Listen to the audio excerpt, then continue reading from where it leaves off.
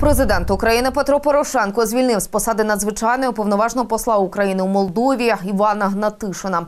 На цій посаді дипломат пропрацював майже 4 роки з липня 2015-го. За словами міністра МЗС Павла Клімкіна, на такий крок Порошенко пішов з огляду на власне бажання Гнатишина. Той нібито вирішив покинути місію у Молдові через особисті обставини і вік. Нагадаю, що з кінця лютого за рішенням президента було звільнено двох і призначено ще трьох послів в різних країнах світу.